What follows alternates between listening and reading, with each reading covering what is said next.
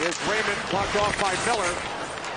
Talk about the Red Wings offensively this season. They're fourth in the league in goals for. No Larkin tonight. Now they'll be adding Patrick Kane in the near future. Here's Panarin with a shot. He scores! Artemi Panarin with his 12th goal of the season. 1-0 Rangers.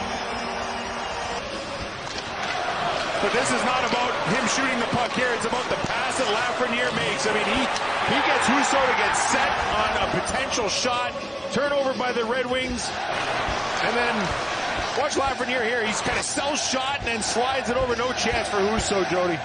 No, not at all. How about K'Andre Miller? You take a look at the AT&T 5G net.